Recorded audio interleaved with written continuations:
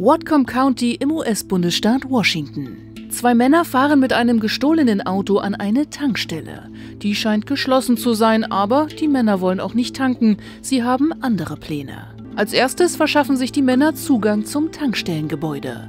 Mit einem zwischen dem Auto und der Tür befestigten Abspanngurt geht das ganz leicht. Und auch der Geldautomat, der sich im Gebäude befindet, lässt sich offenbar ziemlich leicht stehlen. Einer der Männer trägt ihn wenige Sekunden später nach draußen. Den ganzen Automaten mitnehmen? Viel zu umständlich. Lieber nur das Geld rausholen. Aber wie kriegt man das Teil auf? Na klar, mit dem Auto. Einmal gegenfahren und die Sache ist erledigt, oder? Also wird nochmal dagegen gefahren. Und nochmal, ohne zählbaren Erfolg. Und die Diebe, die geben schließlich auf und rasen ohne Geld davon.